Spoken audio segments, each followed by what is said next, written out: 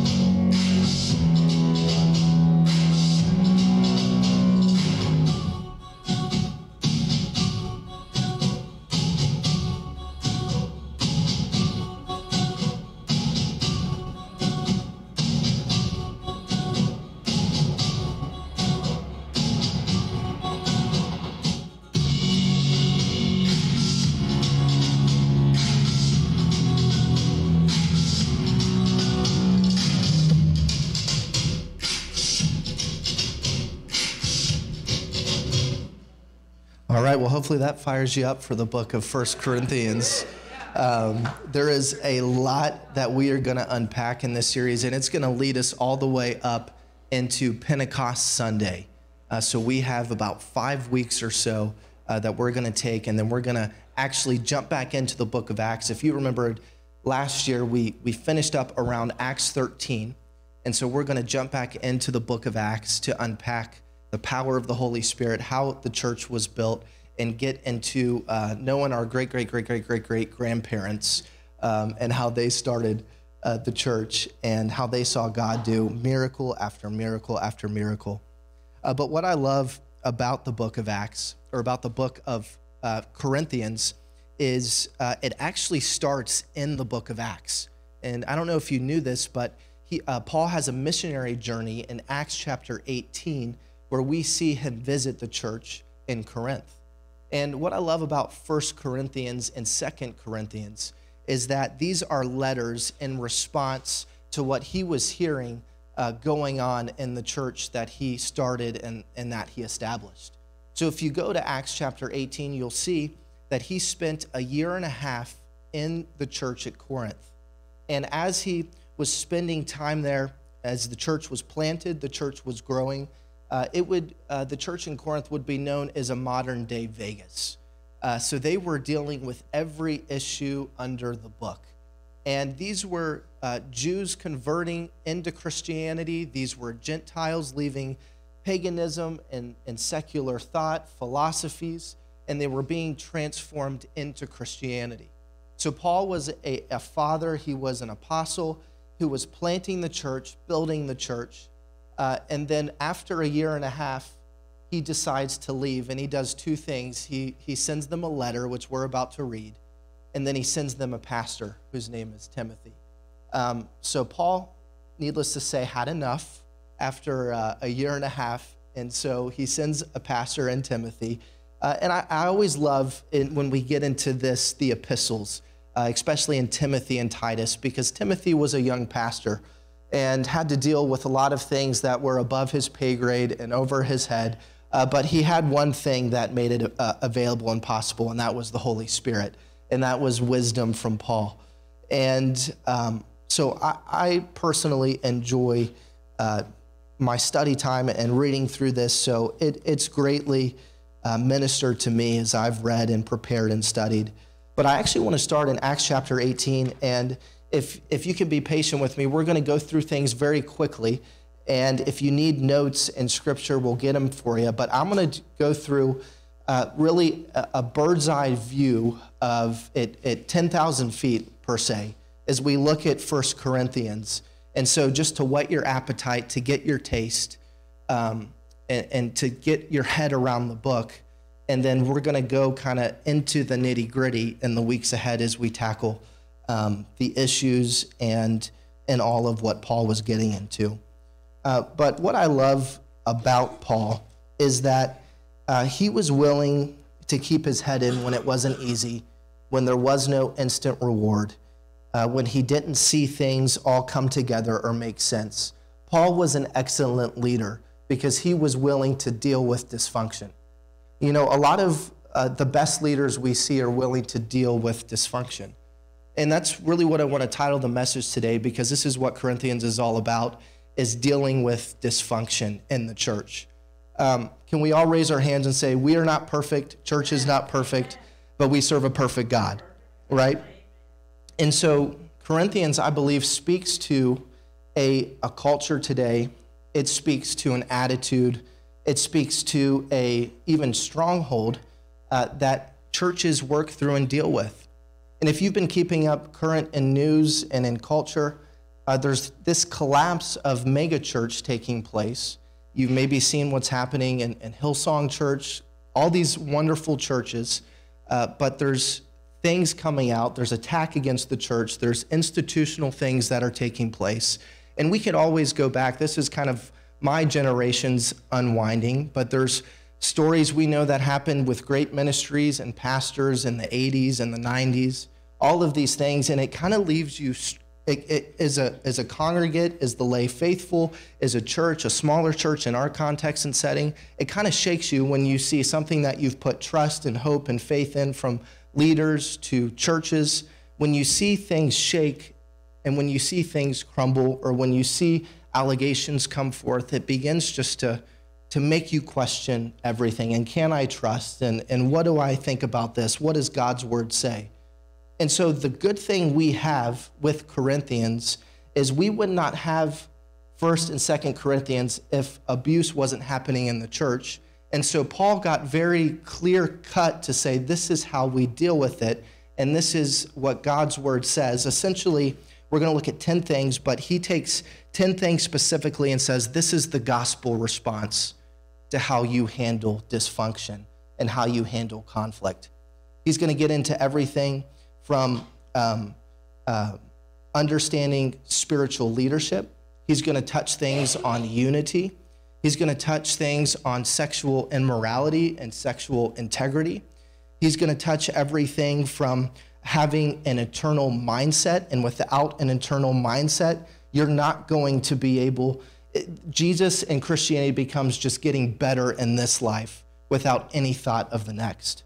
And we're going to see how, if we're not careful, the enemy wants to rob your eternal mindset on why we do what we do and why we build the kingdom. And, and, and get out of this mindset that it's just to make things better in the here and now. But there's always something bigger at play, and we've got to protect that. And Paul will address these things. But I want us to see in, in um, Acts chapter 18, verse 6, we see this specifically, and this is what Paul was dealing as he's in the church in Corinth. So this is him in the church in Corinth in the very beginning. And he's with Silas and he's with Timothy. Now, Paul early on was not full time ministry, was not full time preaching, Paul or Silas and Timothy uh, were tent makers along with Paul, and you'll even see uh, Priscilla, you'll see Aquila, who were a wonderful couple that helped and supported. Um, but Paul was a tent maker, and I love it because Paul is a blue collar, rugged dude, right? That Paul is a guy we can respect because he wasn't just expecting handouts, he wasn't expecting all this support. Paul had his his, his head in the game and was willing to do whatever and whenever to support himself, to support the ministry. And as God began to bless and do, uh, he would then delegate the tent building, uh, history teaches us, to Timothy and to Silas so that Paul could focus on everything uh, that was taking place and happening. So we even see kind of Paul's early years in ministry here of, of what was happening and how he got his support and how he was able to accomplish so much of what we read in the New Testament. And so we see it in verse 6. This is, this is what he was dealing with. It said, But when they opposed him and blasphemed, he shook his garments and said to them, Your blood be upon your own heads. I am clean. From now on, I will go to the Gentiles. You read before then, is that he was dealing with going into the synagogue, reasoning with all the philosophers, with all the Gentiles, and trying to convince uh, the Jews and the Gentiles that he is the Christ, he is the fulfillment of the Old Testament. And Paul was getting worn out and done with, with that rhythm and that routine. So he says, I am done being opposed by you. I'm moving on. You know, when we say that, we get ourselves in trouble. Look what happens next. Uh, then the Holy Spirit gets involved. And it says that Paul has a vision in Acts chapter 18, verse 9. Look what it says. It says, Now the Lord spoke to Paul in the night by a vision. Do not be afraid. And I want this to be for somebody here today. I think just as the Holy Spirit spoke this to Paul, he can speak. He's speaking this to us in whatever mountain you're trying to overcome, circumstance you're in. This is, this is good when you feel like you want to quit and you're dealing with disappointment, frustration, dysfunction. It says, Do not be afraid, but, but speak and do not keep silent. For I am with you, and no one will attack you to hurt you. For I have many people in this city. Look what it says. And he continued there a year and six months, teaching the word of God among them. So we got revelation from God, spoke to him in a vision, and he continued to teach and do what God told him to do. And so this is where we see the church in Corinth established for a year and six months. So now let's flip over to 1 Corinthians. So that's kind of the snippet we get in the book of Acts. And then um, about a couple years later, 18 months to a couple years, then the letter comes saying, Paul, you've left. Now here's what's happening and going on. Quite honestly, this is a leader's nightmare that you leave it thinking it's in good condition and it's good shape, and then you get 10 areas of dysfunction that the church is dealing with. And so Paul sends a response back to them and says, okay, this is what's happened. Here's what the gospel says, and here's how you're to deal with it in the context of community and, and how leadership is to deal in their role, and just gives excellent insight. And I think as we see all this shaking happening in the church, or maybe shaking in your life, where's the first place we should go? To the Word of God. That that's where we get wisdom to how to deal with life issues, with how to deal with church issues, with how to deal with issues in your business, issues in your family dysfunction, wherever it may be, it's found clearly and distinctly in God's Word. And so, 10 dysfunctions. Number one, if you're taking notes, you can write this down. Um, I know you came to church today to hear about dysfunction, so thank you. But it's good, and we've got to talk about this stuff to set it, set it up, and this is, this is God's Word. Uh, but number one is that they dealt with dis- divisions around personalities divisions around personalities. It says this in, in 1 Corinthians 1 12. It says that, that that is that I may be encouraged together with you by mutual faith, both you and me. Or sorry, I'm in Romans. I need to flip over one more. Uh, but it says this it says, Now I say this, that each of you says, I am of Paul, or I am of Apollos, or I am of Cephas, or I am of Christ. Cephas is Peter. Um, so what we see here is that there's this division in Corinthian, in the Corinthian church in Corinth, that some will say, well, I really love Paul's boldness. I love his approach, that I am off for Paul. And then you see, well, Apollos, he is a charismatic, gifted speaker. And did you hear the miracle that happened in his meeting? Come on, let's all run over to Apollos and to his service.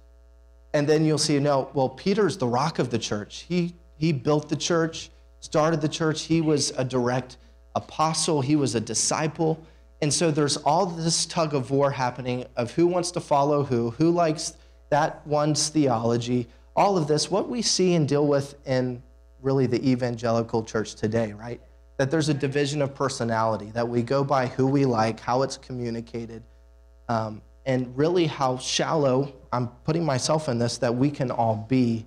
Where Paul is saying, can we put all of that aside? Because we're all preaching the same Christ. We're all preaching Jesus. Now, there's differences in there in theology, and, and to be a good Berean, like it says in Acts, know the scripture, know the word. Um, you should test what is preached against the word of God. But what it's saying here is Paul is saying, all of you, can't you come together? Use your gift to encourage and build the church instead of cause division in that community. So, Paul is, is speaking to this on the petty division around personality. He also says this in 1 Corinthians 3 3 through 4. It, comes up again. Um, but it says that you are jealous of one another and quarrel with each other. Doesn't that prove you are controlled by your sinful nature? Aren't you living like people of the world? When one of you says, I am a follower of Paul, another says, I follow Apollos, aren't you acting just like the people of the world? So it's saying if you can't get this right, then there's going to be no distinction between how you deal with things from how the world deals with things. That we should value unity and work and strive toward unity, Paul is, is addressing. Second one, so there's division among personality. Second is spiritual pride. You know, the church in Corinth thought that they were quite something and weren't afraid to boast it, to talk about it. Um, that they thought that, you know, they were the bee's knees, right? that they had it going on, that they had the vibe, they had everything that you could want, they had. And, and in that, when you get in a place of spiritual pride, you always lose touch with reality because you, you tend to then look down on people, you look down on situations. Instead of stretching your hand down, you turn from that and you keep yourself built up and you keep yourself insulated. Um, so they lost sense of of reality. 1 Corinthians 4 7 gives you insight into what they were feeling and thinking. It says, For what gives you the right to make such a judgment? What do you have that God hasn't given you? And if everything you have is from God, why boast as though it's not a gift? So, Paul is saying here, why are you boasting in this? Because this is a gift that God has given you. This is a gift of how this church has been built and established. And he's saying that this was given to you. And think about it for a minute. Why boast in a gift? Look what we did. Look what I did. Where it's like, no, no, no, look what God has given you. That's where the boasting should be in the gift that's been received, not taking ownership and closing in on it, saying, look what I've done, and taking credit for what God has done. So there's spiritual pride. Number three, there's a distrust of leaders. And I want you just to see this as we kind of piece all of these things together and, and see where these, these come in. You heard this in Acts 18, but there was such opposition and, and, and Paul really dealing with such um, complaint and uh, dealing with whining, dealing with uh, emotion, dealing with all the, the things in people when they want to give their opinion, dealing with all of the Facebook posts, dealing with the social media, all of the stuff, Paul is, is having enough of it. And he's saying that there is such a distrust. Why am I here if you don't trust anything that I'm saying? And so he, he sets the record straight is you've got to trust somebody somewhere at some point. And so look what it says. It says, um, 1 Corinthians 4, verse 1, it says, So look at Apollos and me as mere servants of Christ. So he's saying, you've got to view and see that your spiritual leaders are servants and are here to serve. And so he's saying, you have to see us as servants of Christ who have been put in charge of explaining God's mysteries. In verse 2, it says, Now a person who is put in charge as a manager must be faithful. So it's giving criteria is if you're a leader, then you have to exemplify some of these qualities, if not all of them. It says, As for me, it matters very little, little how I might be evaluated by you. So he's saying, I don't care what you think. I'm here on mission from God, and I know that I have to give account to him. So he's saying, I don't care how you are evaluating me or by any human authority. I don't even trust my own judgment on this point. He says, My conscience is clear, but that doesn't prove I'm right. It is the Lord Himself who will examine me and decide. And here's where we hear really some sobering truth as we even stand before Jesus at the judgment seat. It says, So don't make judgments about anyone ahead of time before the Lord returns, for he will bring the darkest secrets to light and will reveal our private motives. Then God will give to each one whatever praise is due. And so we hear that, that our motives, as dark as they may be, or as right as they may be, will re- be revealed um, at the judgment seat of Christ. And, and that sobers me because when I think of, because you, you can hide motives pretty well, right? You can, you can disguise motives. You can do the right thing, but your motive is wrong. This is what the gospel always does it always cuts straight to the heart, not what you just do with your hands. It deals with your head and your heart as well, not just what the Pharisee does with their hands or what the law says you do with your hands, but it, it goes to the heart and it goes to your mind that it, it cares that deeply. And so that there's a judging that will take place. And Paul is saying, You've got to trust me because this is this is the mantle or this is the anointing that I'm under, that I know every motive will be judged. And this is the level of spiritual leadership that I'm understanding. I'm not going to lead you astray because I have to answer to him. So he, he's trying to set the foundation here to bring trust and to bring respect. So there's a distrust of, of his leadership and leadership in general that Paul is addressing in the Corinthian church. And when you read these things, it sounds like, again, the church today, the dysfunction that is kind of a revolving door that somewhere along the line is dealt with and is worked through. And he's calling them to a deeper place of, of maturity. Number four is a failure to exercise church discipline. Now, this is, this is a scary part of Corinthians when you get into it. Um, but there's he's talking of the leadership that he left behind before he sent Timothy, that they were uh, weary of conflict and criticism. And this is really when you're a leader, and I'm just speaking from experience, when you know you have to address something and you know conflict and criticism is going to come from it, you try to pray through it, you try to work through it, you try to think through it. Maybe you're a manager, you're a boss, and you know when you have to confront someone you're literally praying in tongues on the way to the office. You're doing everything you know you need to do because, as well as you say it, as good as you say it, with as big of a smile on your face as you say it, you know that there's going to be a conflict and there's going to be criticism on the other side of it. Um, but that's no excuse. When God entrusts you over people, there is a right way to deal with conflict and a right way to deal with criticism. So, he's addressing these things because the, th- the, the level of dysfunction that they were allowing to happen underneath their care and their leadership is paramount and is, is, is to the point of disgust of what the leadership um, was allowing to take place. Uh, it can even be said this way that there was a chronic case of persistent sin in the church and that they prided themselves in tolerance. So they, they valued tolerance at such a level where it got to the place of everyone just kind of do what you want, then we'll gather together, we'll worship, and then you go back and you just do whatever you want. No repentance, no addressing sin. And then the leadership were the, the ones leading, um, you know, leading the train on this thing. And so you get in and you can really read this. 1 Corinthians 5 speaks a lot to it. And uh, this is where uh, sexual integrity is, is spoken of, but it says, I can hardly, Paul says, he opens it up, I can hardly believe. So he's saying, is this really what I'm get, um, is coming back to me in this letter? He says, I can hardly believe the report about the sexual immorality going on among you, something that even pagans don't do. So he's saying, it's so debased that it's something that the world doesn't even do, and it's happening in the church of Jesus. So he can't believe this and he gives the example. He says that I am told that a man in your church is living in sin with his stepmother. You are so proud of yourself, but you should be mourning in sorrow and in shame, and you should remove this man from your fellowship.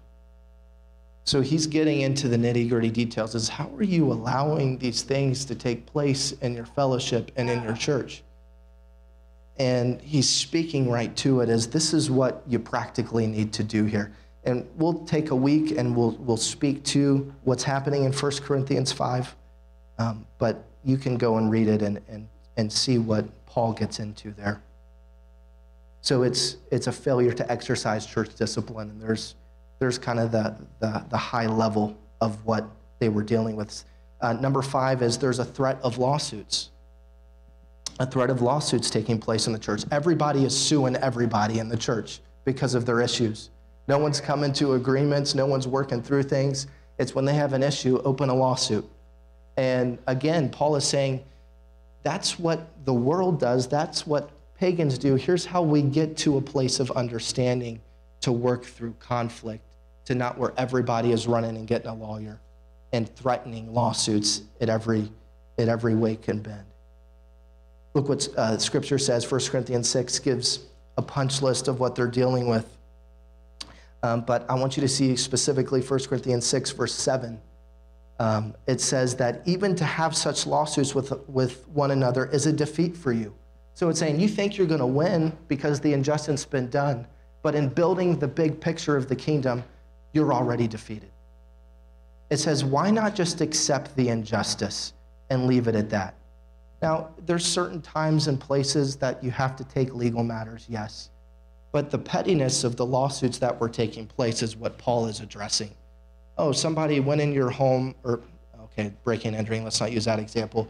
Uh, somebody, somebody looked at you a certain way in your fellowship and gave you a dirty look, and then you just got a conspiracy about you, and you thought you're missing something in a bag that you brought with you, and you just know it was them because the way they looked at you. So you falsely accuse them, and you open a lawsuit against. This is just the kind of stuff you can imagine that was taking place. And so he said, Why not just let yourself be cheated? You know, it's, it's okay to, to let this one go. In verse 8, instead, you yourself are the ones who do wrong and cheat even your fellow believers. So they're, they're hypocritical, even. Uh, one's being sued, and that same person that's being sued is suing somebody else. Uh, so Paul's saying it's not the end of the world if you're wrong here. You can, you can swallow this one. Number six, so we have lawsuits, then we have, um, and doesn't this sound like our world? Is there's discontentment of unmarried and singles. So you have marriages um, in the church, and they're discontent, and they start getting a wandering eye, and they're looking at other people they're in fellowship with and saying, wow, the grass looks a little greener over there, and I'm discontent. And instead of watering my own marriage, maybe I go over here and, and water the grass over there. Maybe there's something better. That sure looks a lot better. And this is again happening in the church. This isn't the world, this is the church. And so you see the discontentment, but he just doesn't stop there. He then addressed the singles in the community that are, are in sexual immorality and uh, addressing the parameters of, of sexual integrity as well. And so 2 Corinthians 7 1 through 2, and this is to give you a taste. It says, Now regarding the questions you asked in your letter, again, this is a reply from Paul. Yes, it is good to abstain from these relations, but because there is so much immorality, each man should have his own wife, and each woman should have her own husband. So you see how um, basic Paul has to bring it? Like, I'm going to spell it out so there's no there's no misunderstandings here. This is the Word of God, and this is how it's supposed to be. And so he writes about singleness, he writes about marriage, he writes about divorce, he writes about the widow remarrying, all of these things, and gets to the heart of the issue. So we'll, we'll take a week and, and we'll get into marriage and what Paul um, is talking about as well. I like this married people who wanted to be single and single people who wanted to be married. That's point blank what Paul is, is dealing with. Number seven is this so there's discontentment of the unmarried and singles. Number seven is there's confusion on Christian freedom. So he takes a better part of Corinthians and addresses everything from what you eat, what you're wearing, all of these things to try to say, no, you're, you're being more of a Pharisee here. And no, you're over here, you're more in a, in, a, in a space of rebellion. And he tries to bring them to the middle of, of what is accepted and what is pleasing to God, not what is, is religious and not what is rebellious, but what stays in the place of repentance. Now, you, could, you can see many denominations, many churches, this is usually where they focus on of what the extremities of things, of how it's supposed to be in order for you to belong and for you to be a part. So Paul gets into all of this and addresses these things from alcohol to food to what you're wearing to um, who's ministering, how to minister, all of these things that are needed to set a, a good um, foundation. So he addresses this confusion and he brings clarity. 1 Corinthians 10 is where it's found. It says that these things happened as a warning to us so that we would not crave evil things as they did. So this was the heart is get the cravings of idolatry out of your life. That you've, you've got to replace these cravings with conviction. So it says in verse 7 um, that you're worshiping idols as some of them did. But scripture says the people celebrated with feasting and drinking, and they indulged in, in pagan ways. And it says, and we must not engage in sexual immorality as some of them did, causing, it tells of a story of 23,000 of them to die in one day. So he brings confusion, or he brings clarity to a lot of confusion. And I would say a lot of us um, kind of park and camp in a lot of confusion on these issues. So as we open God's word and we take a week and, and we investigate this, that my heart and my prayer is that clarity would come forth and you would know what God's word says that so that you can thrive. You can teach your children to thrive, that you can have fidelity in your life, that you can be who God has called you to be. And it only comes by knowing his word, knowing his spirit, being around the people of God, us encouraging each other, and, and making this a reality. Number eight is this there's tension around worship, of how we're to worship how we're to gather, what's acceptable, non acceptable. You know, we know, all of us know 1 Corinthians 13, right? It was read at a lot of your weddings, it's the love chapter. Um, I found this interesting and I didn't connect the two right away, but 1 Corinthians 13 is not specifically about love in your marriage. Um, it's more geared toward love in Christian community, of how we're to love one another and forgive one another uh, but we usually take it and we read it in, in our marriages, and it's a vow, and, and it, it still is applicable, but the context of when it's, it's given is in how we're to love each other and work through things as we worship, as we gather, as we're in community together. Um, but it, it, gives us, because there begin to be an abuse of, of spiritual gifts. There begin to, the, the Holy Spirit would, would show up, and then things would happen and there would be an abuse. So Paul says, okay, this is, this is really what it's supposed to look like and how it's supposed to be um, served and manifested to be a blessing to the body, not to cause distraction, not to be a scarecrow, not to turn people away from the Holy Spirit, but to serve people the Spirit. And so this is what it says in, in 1 Corinthians 12.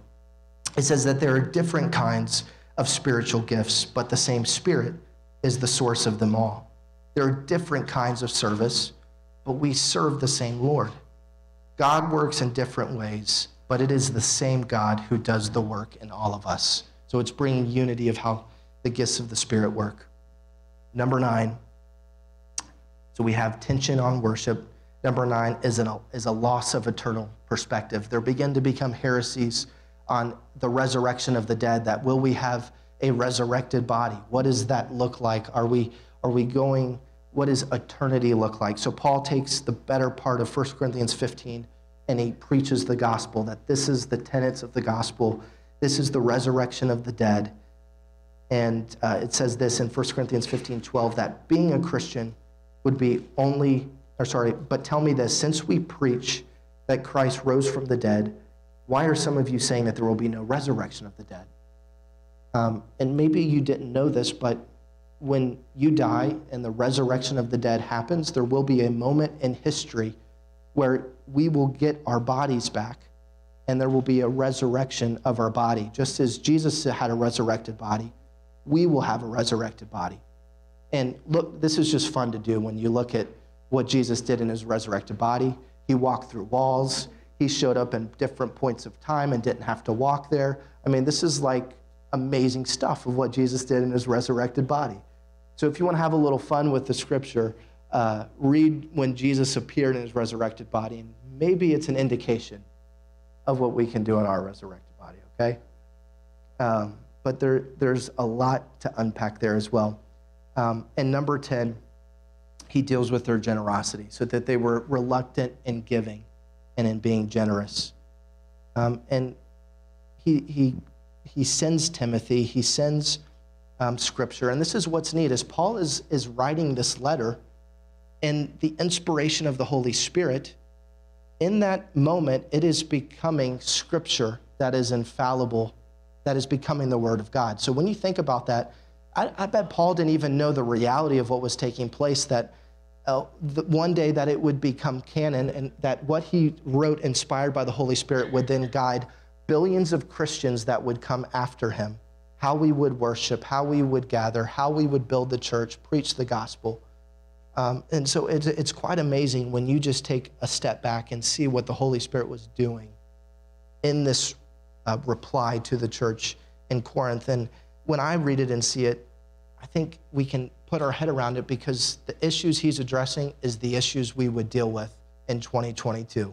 2,000 some years later, um, it would be so relevant of how we're to, to operate and to deal with these things and to see his church be radiant and bright, not cause hurt, pain, and dysfunction. And so uh, we see the re- reluctant giving. 1 Corinthians 16, um, 1 through 4. If you have it back there, it says this. It says, Now concerning the collection for the saints, Come on, that's a good pastor who knows how to word it's time for the offering in a very nice way. The collection of the saints.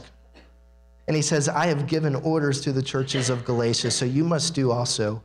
On the first day of the week, let each one of you lay something aside, storing up as he may prosper, that there be no collections when I come. And when I do come, whoever, whomever you approve by your letters, I will send to bear your gift to Jerusalem. But if it was, but if it is fitting that I go also, they will go with me. So it's to support the missionary journeys, the advancement of the church, the building of the church, taking care of widows and orphans. Um, he goes on to, to lay all of that out and not being reluctant in generosity. And so I want to end with this. Um, you know, he sent Timothy, and, and, and we see this that Timothy comes. If you read the opening of First Corinthians, He's speaking of Timothy. You then get into Second Corinthians, and that's a whole nother letter um, because Timothy, uh, as he was sent in to pastor this community, is um, he struggled. Now, Timothy's coming off of an amazing missionary journey in, in the church of Thessalonica. We get the book of Thessalonians from it. So Timothy was killing it as a pastor. The church was growing, it was thriving, it was honoring God. Uh, and then Paul sees, okay, you can handle Thessalonica, you can handle this church. Well, I have another journey uh, assignment for you. I'm going to send you to Corinth and let's see uh, how good you do there. Paul's just going to send a letter. He's going to leave it at that, but then he's going to make Timothy um, do the hard work. Uh, so we see that Timothy is sent and you know, there's this window you get into Timothy being there is that he deals with failure um, in how he kind of pastored and dealt with uh, the issues that he had to deal with. And you can kind of see this in, in Paul's language. It says in um, 1 Corinthians 16, 10 through 11. Look what it says, and it says, and if Timothy comes. So we know that he was going, but Paul's like, if he even makes it, if he's even able to, to get there. Um, and this is just kind of light at heart. He says, see that he may be with you without fear, So Paul knew what he was going into, and he's encouraging them, please receive them. Don't buck him like you did me. Um, for he does the work of the Lord, as I also do. Therefore, let no one despise him, but send him on his journey in peace, that he may come to me, for I am waiting for him with the brothers. So he's saying, take care of Timothy when he comes, if he comes. We know he did go. Um, so Paul knew what he was sending him into. But as he comes back, and as you, as you open the next letter in 2 Corinthians, as you get into it, you'll see that Titus is mentioned, that Timothy is no longer on the front lines doing the work because of the defeat, the disappointment, maybe the failure. Um, and what I want to speak to you today is if you feel like you are dealing with dysfunction, it says in 2 Corinthians that you see this we, and you see Timothy by Paul, who is, is helping him formulate and write 2 Corinthians. And as you get into 2 Corinthians, you'll see that he would then again get sent to the church in Ephesus and would do amazing things there. So Timothy did not park in his defeat. He did not park in his disappointment.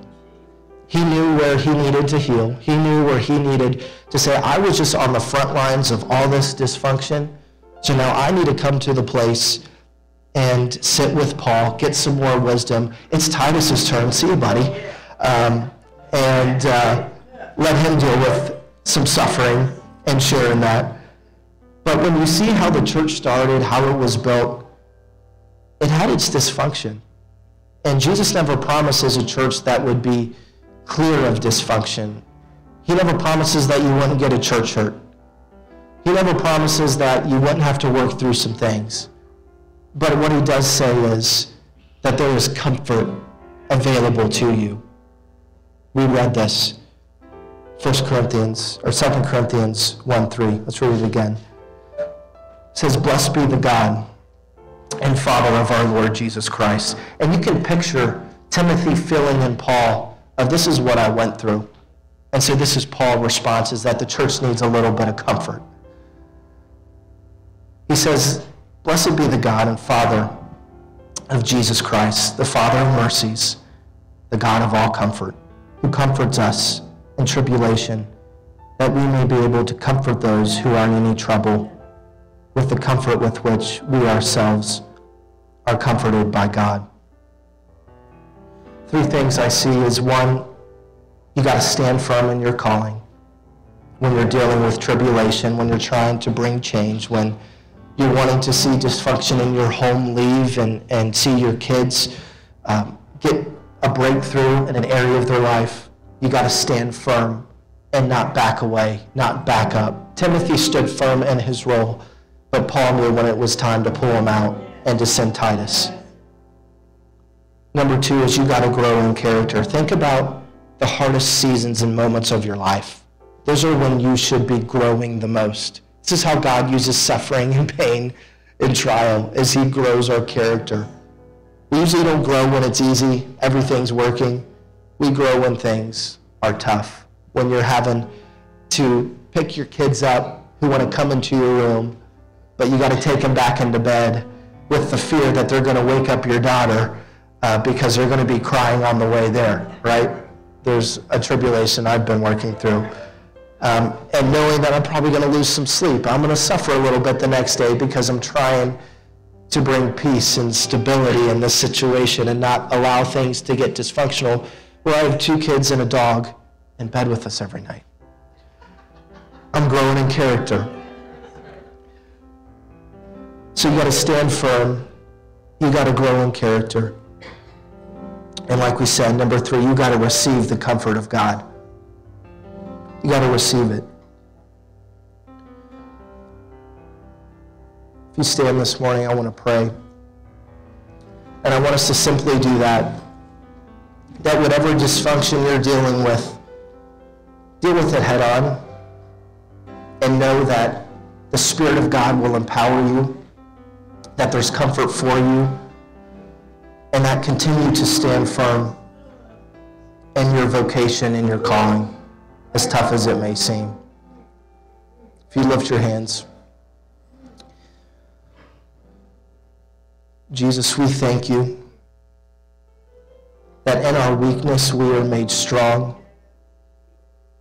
That Timothy had to come to the end of himself, Paul had to come to the end of himself and trust in something that only God could do. There's areas in sin and addiction and dysfunction in our life that breakthrough only comes when we, when we drop to our knees and we say, God, this is only something you can do. So, Father, we just want to put our trust in you. We want to surrender to you. God, that we don't want to raise dysfunctional kids. We don't want to have dysfunctional marriages. We don't want to be dysfunctional in our generosity. We don't want a dysfunctional church. Father, we don't want to be dysfunctional in what we eat and what we wear, what we drink. Father, we don't want to be dysfunctional in how we honor and respect leadership. Father, if we are a leader and a manager, if we're over someone, we don't want to be dysfunctional in how we serve them. Father, we know that we can't deal with what we don't define. So, Father, I pray that your grace comes so gently this week and begin to define some dysfunction that we need to deal with. And, Father, as we deal with it, we'll see the power of God. We'll see your strength We'll see your word guide us and lead us. Father, we stand firm. We trust in the comfort of the Holy Spirit. And we thank you, Lord, that you are with us, that you are in this place, you are in this house. Touch every heart, every mind, and every hand. That curses stop with us, that poor choices stop with us. God, that we raise the standard, that we lean into the Holy Spirit, just as Paul and Timothy had to do. Lead us, Holy Spirit, in this endeavor. We thank you for this letter. We thank you for Paul's testimony, that it can become a part of our testimony as he was inspired of the Holy Spirit. In Jesus' name we pray. Everybody said,